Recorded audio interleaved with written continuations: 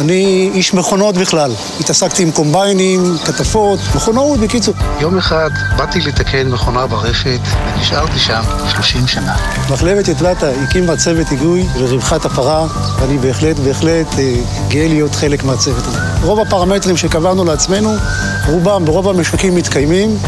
ואני חושב שזה הישג גדול. יש מאוד מאוד הקפדה על נושא בריאות הפרה, זה בעל חיים, צריכים לשמור עליו באהבה הכי גדולה שיש. אנשים פוחדים מדברים חדשים. יש פה באמת שינויים דרסטיים. החל מקלטור, פעולת הקלטור מתבצעת על ידי טרקטור עם מקלטרת, הטרקטור נכנס בעצם והופך את המרבץ. אם המרבץ פה תקין, אז זה בעצם פרה יותר בריאה, ברוב המקומות עושים פעם אחת. אני קיבלתי החלטה, אני עושה שלוש פעמים ביום קלטור.